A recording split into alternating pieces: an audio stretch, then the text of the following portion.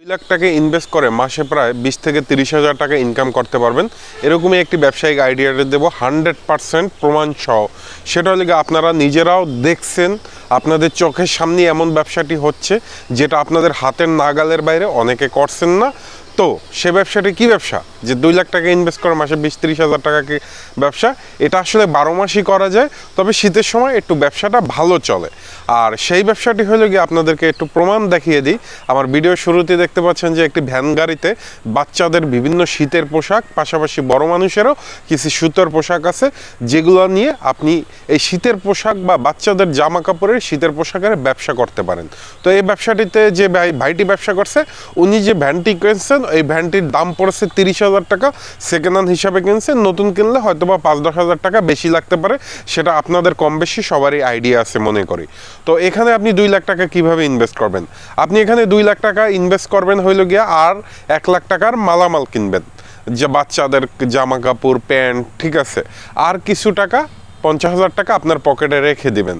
কারণ হইল গিয়া, যখন আপনার বিক্রি বাড়বে বা যখন আপনার চালান আরও বাড়বে, তখন বা চাহিদা বাড়বে, তখন কিছু প্রোডাক্ট আপনার স্টক করতে হবে। এই জন্য আপনি এক ষাট হাজার বা পঞ্চাশ থেকে সত্তর, আশি হাজার টাকা আপনার হাতে রেখে দিবেন। তাতে করে হবে কি, যে কোনো ব্যবসায়ী, আমি সবসময় ভিডিওতে বলি যে, যারা ব্যবসায়ী বা ব্যবসা করবেন, সবসময় বিশ হাজার, পঞ্চাশ হাজার মানে আপনার হাতে যদি তিন লাখ টাকা থাকে, তাহলে আপনি দেড় লাখ টাকা ইনভেস্ট করুন। আর দেড় লাখ টাকা হাতে রেখে দিন। আর দ্বিতীয় কথা বলব যে কোনো প্রকার অভিজ্ঞতা ছাড়া এ ব্যবসায় নামবেন না। আমি আপনাদেরকে এই দোকানটি দেখালাম আর আপনি বেকার বসে আছেন, আপনার হাতে টাকা আছে, আমার কথা মতো নেমে গেলেন। তা আপনারা ভুলেও করতে যান না। আপনারা প্রয়োজনে এই ধরনের যারা ব্যবসা করে তাদের সাথে আলোচনা করে নিন, তাদের সাথে কথা বলে নিন। তবে হ্যাঁ এই ব্যবসাটি হয়তোবা এখন একটু ভালো চলে, শীতের পোশাকটা বাচ্চাদের মার্কেটে খুব ভালো চলে। কিন্তু আপনি শীতের পোশাক বারো মাসই এটা বিক্রি করবেন, শীতের সিজন শেষ হয়ে গেলে আপনি বাচ্চাদের জামা কাপড় নিয়েও আমি ব্যবসায়িক আইডিয়া দিছি। বাচ্চাদের জিনিসপত্র মোটামুটি বড় মানুষের যে টি শার্ট এগুলো কিন্তু সারা বছরই চলে।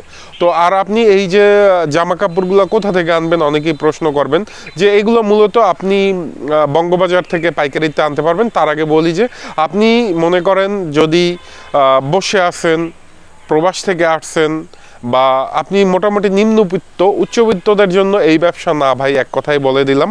তো আপনি মোটামুটি কাদে এভাবে একটি ভ্যান বানিয়ে যদি আপনি এই দোকান নিয়ে যদি ব্যবসা করেন, আশা করি খুব দ্রুতই আপনি সফলতা অর্জন করতে পারবেন। এতে কোনো গ্যারান্টি নাই, কারণ এই ব্যবসা যারা করে, সবাই মোটামুটি কম বেশি ইনকাম করতে পারে। হয়তো বা সারা মাসই বা সবসময় একক ইনকাম হয় না। কিন্তু আপনি লেগে থাকলে আপনার ইনকাম হবেই। তবে হ্যাঁ লজ্জা রাখা যাবে না, কারণ আপনি লজ্জা রাখলে আপনাকে কেউ খাওয়াবে না। আপনার খাবার আপনারই খেতে হবে। ঠিক আছে?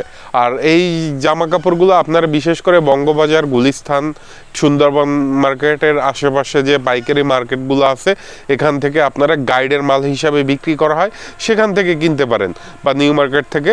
তবে এই ব্যবসায়গুলোয় মোটামুটি থার্টি ফোরটি পার্সেন্ট ব্যবসা থাকে।